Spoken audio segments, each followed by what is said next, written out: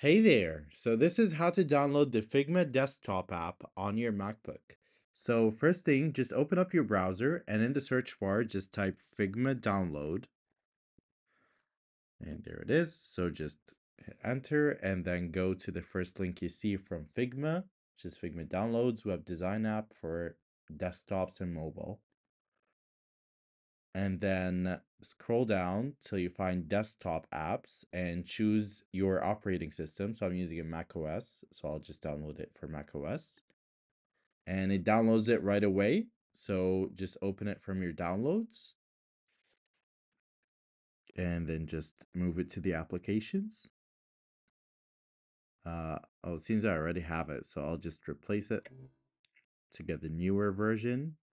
And then let's just open up Figma. Open. And it's downloading right now, it's installing. So just give it some time. All right, almost there. Here we go. So it's open up, opening up uh, Figma right now. And you can just start logging in and using Figma on your desktop. So uh, yeah, this is how easy it is. Hope that video is helpful.